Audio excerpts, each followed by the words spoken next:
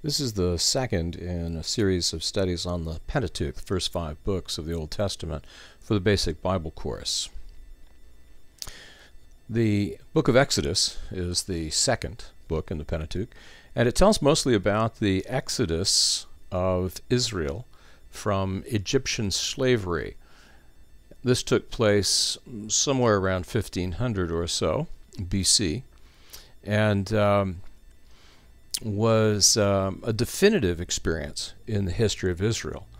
The Exodus story actually begins with the story of Moses, and um, and uh, most scholars attribute the writing of the book of Exodus to Moses, probably during the 40 years that he took leading the people of Israel on the Exodus.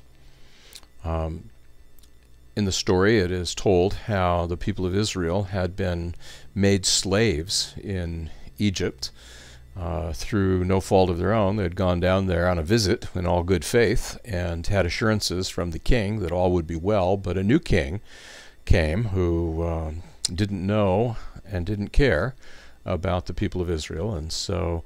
Uh, in order to minimize the threat from these foreigners dwelling in his land, he turned them into slaves. And uh, they worked the land and um, made uh, bricks for Pharaoh's building projects and uh, were treated very cruelly, partly because they were very numerous and uh, Pharaoh was actually hoping to kill some of them off. Along that line, he passed a decree that firstborn children, male children, were to be executed. And um, it was only through a miracle that Moses was preserved that his life was in fact saved. Um, he uh, eventually escapes from Egypt, winds up in the wilderness out in the Sinai Peninsula, where he is a shepherd, and at that point he meets God uh, through an encounter with God at a burning bush in the middle of the desert. Uh, God speaks to him and says, Moses, it's time for my people of Israel to be delivered from slavery, and you're the man who's going to do it. I want you to go down to Egypt and tell Pharaoh to let my people go so that they may return to the land of their ancestor Abraham and worship me. Moses is reluctant to do this. He feels that he has no skills that will enable him to do this successfully, but he reluctantly agrees to do what God has told him to do, and he goes down to see Pharaoh. Pharaoh, of course, will not allow the people to leave. They are a valuable economic asset and uh, he doesn't want to take any chances. So he denies Moses' request and says there's no way that's going to happen. Moses, in turn, informs him that he, Moses, represents a very powerful God, not like the gods of Egypt, the Nile god, the crocodile god, the cat god, but rather the God Yahweh, the God of Abraham and Isaac and Jacob, and that if Pharaoh will not allow the people of Israel to go free, he will be sorry uh, because God will send judgments upon him. Pharaoh refuses to listen, and so the plagues begin. One after another, the plagues fall in the land of Egypt, each one more terrible than the last. And uh, the Lord turns up the heat on Pharaoh, and his people cry out and say, Pharaoh, what are you thinking? Let the people go. We're, we're being destroyed here. Interestingly enough, the Jews are protected from these plagues. They fall in the land of Egypt, but not on the piece of Egypt that the Jews have settled in. And um, if you're familiar with the book of Revelation in the New Testament, you recognize that there's a certain kind of analogy here where the plagues fall upon the world in order to convince the world to do the right thing. And the world is unconvinced, but God's people are protected. The final plague is the worst one of all. God says, All right, um, you asked for it. I've tried to be reasonable. I told you that you should obey and let the people go. If you're not going to do it, then you need to know that there are going to be horrible consequences. And the horrible consequences are that a destroying angel will pass through the land of Egypt, and the firstborn of every family will die, all through the land of Egypt. And um, this great national tragedy will force you to do what I'm telling you to do and let my people out of their slavery so that they can return to their ancestral land and worship me.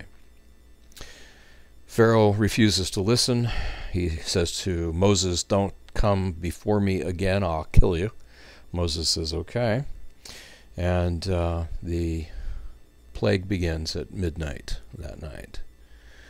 The destroying angel passes through the land of Egypt, and at each house the firstborn dies. But God said to Moses, This is going to be uh, limited to the people of Egypt. It will not happen in the land where the Israelites are living. And here's what you are to do you're to take a lamb, and you are to kill the lamb, take some of the blood from the lamb, lamb and put it on the doorpost of your house. And inside the house, you are to be dressed with your shoes on your feet and your walking stick in your hand, ready to go in an instant, because after this plague, Pharaoh is going to throw you out. And uh, you're to eat the lamb roasted with bitter herbs as a reminder of the bitterness of your captivity in Israel. And everybody who stays in that house will be spared by the destroying angel, because when the destroying angel passes over that house, he will see the blood of the lamb on the doorpost, and because of that, he will pass over that house, and no one there will die. So while the firstborn were dying in all the houses of all the land of Egypt, no one died in the land of occupied by the Israelites because the destroying angel passed over those houses. And that of course was the beginning of the Passover festival, which is still celebrated even today, thousands of years later, by every good Jew all around the circle of the earth, celebrating the Passover, commemorating this event. One of the questions, of course, that always comes up in this context is: Is it fair of God to kill innocent children? I mean, you know, these are these are babies, some of them, you know, toddlers, some of them, old teenagers, some of them.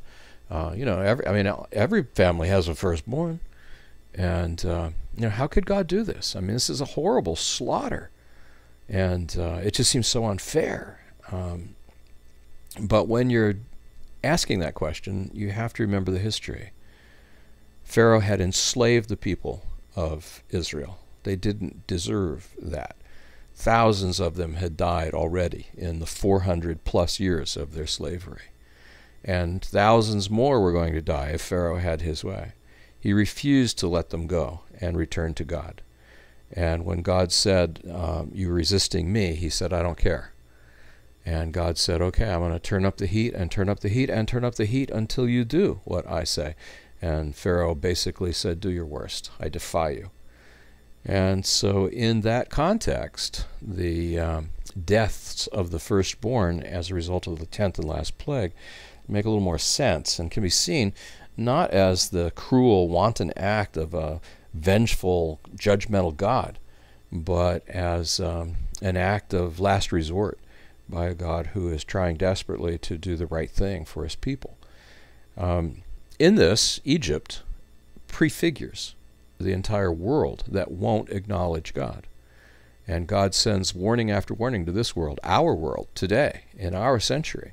And He wants desperately for people to listen and to act on what they hear, but they won't do it. And God says, Look, this is important. You've got to listen. And they refuse. And God says, There is a final destruction that's coming. It can't be escaped unless you will escape it in my way by turning to me. And uh, once again, it is the blood of the sacrificial lamb that provides a way of escape so that the destroying angel will pass over those who are protected by the blood. From the Passover experience, the people of Israel are led out by Moses and they arrive at the shore of the Red Sea. Uh, Pharaoh demonstrates that he is still unrepentant, even though he's been forced to let the people go and he assembles his army and he uh, chases after the people, intending on slaughtering them. Uh, but uh, ultimately, God works a great miracle, and it's Pharaoh and his army who are slaughtered instead. And once again, this prefigures the story of the end of the earth.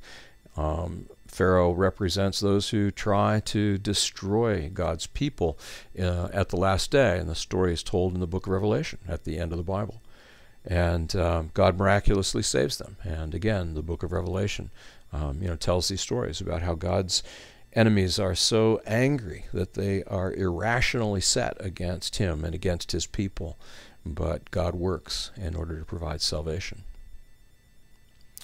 The Exodus experience is the defining experience for Israel. Forever after, even today, the Jews will look back to the Exodus as a reminder that their God is faithful, that their God delivered them, that their God has power to take care of them.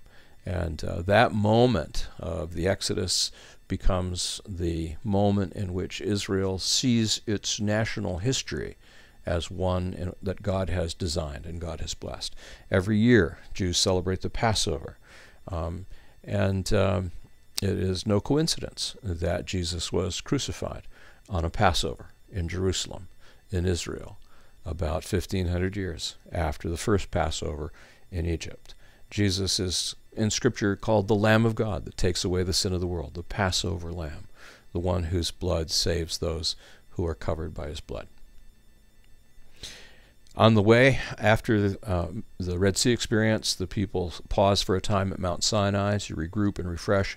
And there at Mount Sinai, they have another pivotal experience that goes down into the historic psyche of the people of Israel. The Mount Sinai experience is about laws. It's God there gives them the moral laws, the Ten Commandments, thou shalt not, thou shalt not, the religious laws of Judaism that define the priesthood and the sacrifices and the festivals and the holy days and all the religious rituals. He gives them civil laws that will govern a nation, an eye for an eye and a tooth for a tooth, and how murderers are to be handled, and how to distinguish murder from manslaughter, and how to distinguish burglary from armed robbery, and all those kinds of things.